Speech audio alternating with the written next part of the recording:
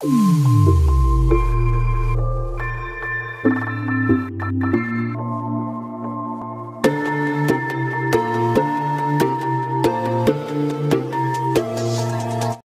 there guys, it's Cole from Fishing Living Mission. So today we're going to have a look at the Kmart Anko Dutch Oven. It's a three and a half litre one, let's have a look at it. So I've taken it out of the box already and it comes in this nice uh, carry bag. It's not the heaviest duty, but it'll definitely do for around the campsite.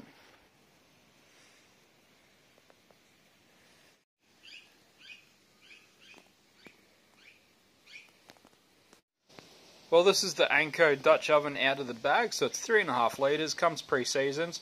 I'm going to do a season on it anyways. I'll probably do a couple of seasons just to make sure it's the best non-stick cooking surface. Um, usually when you get them pre-season, they're okay.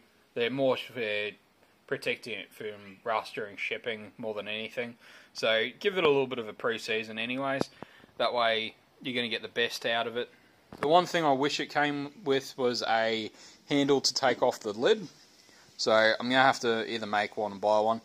That's not too much of an issue at the moment. I'll just use a hammer. I can just scoop it and pull it off.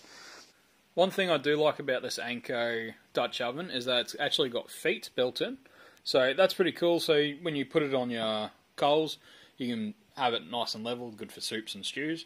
But also when you move it off the fire, you can set it on the ground. It's not going to do a big burn ring on the grass, it'll just have those three feet that are quite hot. Another thing I like that it's got this nice big deep lip, so that way when you put your coals on top, it's not going to fall in when you're taking it off. I've been wanting a Dutch oven for quite some time now to go camping with, and this one for $39 from Kmart, it's a pretty good price. Uh, it's quite comparable to some of the other ones that I've been looking at.